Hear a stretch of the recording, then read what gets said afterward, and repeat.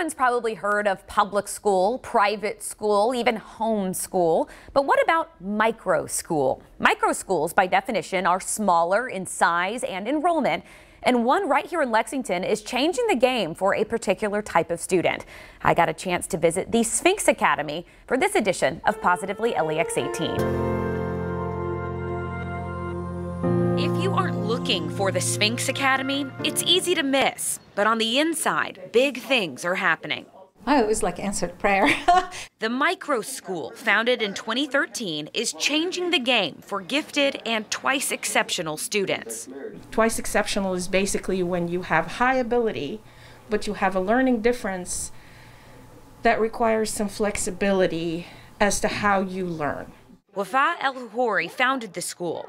After trying countless options for her gifted son who has ADHD, she took matters into her own hands. The Sphinx Academy is now a nationally accredited, Kentucky certified 8th through 12th grade school. There are six teachers and just 30 students. This is a wonderful place for them to have someone listen to them.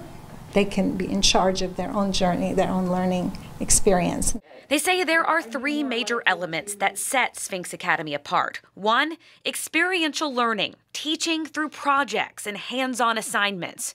Two, mentoring. Every student has a mentor assigned to them. They meet every week to help individualize their education plan. And three, self directed learning, time spent out of the classroom to meet or work.